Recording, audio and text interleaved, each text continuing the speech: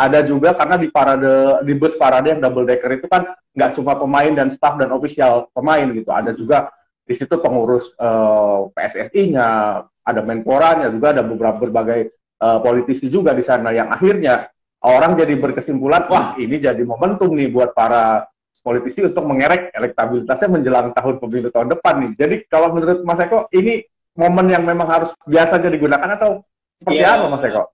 Ini memang kita tidak tidak tidak pungkiri ya bahwa sepak bola itu sangat seksi lah, sangat hmm. seksi untuk menjadi uh, titik uh, titik perhatian sampai seorang uh, Erick Thohir pun akhirnya uh, juga masuk di dalam situ termasuk Menpora. Ya bahwa ini yeah. menurut saya juga satu ada yang aneh gitu ya. Yeah. Jadi bagaimana kalau kemudian disebutkan tidak seksi begitu bahwa ini menjadi panggung ya mau tidak mau memang inilah panggung mereka peluang mereka untuk menaikkan posisi ya harus kita akui juga bahwa posisi Erick Thohir di sini kan juga jadi terkerek ya bahwa zaman yeah. dia lah kita meraih medali emas uh, SEA Games ini. Iya, iya.